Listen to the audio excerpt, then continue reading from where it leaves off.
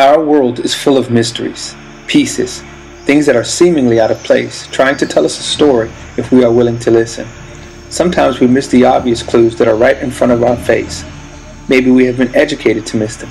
Maybe we are just ignorant of the truth. Maybe we are just not conscious enough. Information is violent. It pushes us out of our comfort zones. It changes our norms. It suggests that there are some things that we do not know.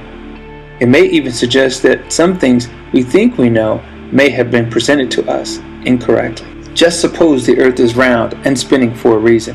Suppose it is like a record on a record player, a cassette on a deck, a needle on a hard drive, playing an interactive story for us, testing our choices, telling us that we have been here before.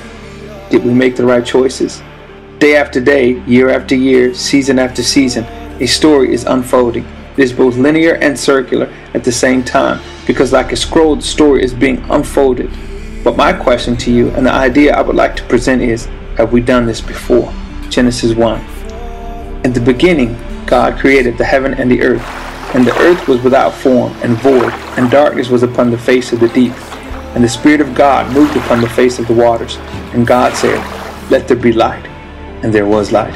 My proposal is that in between verses 1 and 2 of Genesis 1, there are many things that happen that are not explained, like the pages were being torn out of a book, that someone was hoping that we wouldn't notice. Something happened that is not described on those pages, something that will cause the entire earth to need to be recreated again. A darkness that was so prevalent on the earth that there could only be one antidote destruction. Something went wrong, terribly wrong. There is a story that history hints about as it mentions Atlantis, Greek mythology, and aliens who visited our planet.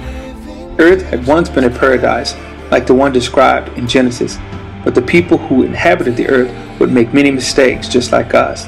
They would arrogantly believe that they could make choices that would have no consequences, but every choice has a consequence, an outcome, a harvest. The earth and its inhabitants fully destroyed.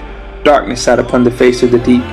It sat upon the waters. The material that perpetuates life now had no life to endorse. Civilizations, cultures, creations, and races of species wiped out because of the choices they made.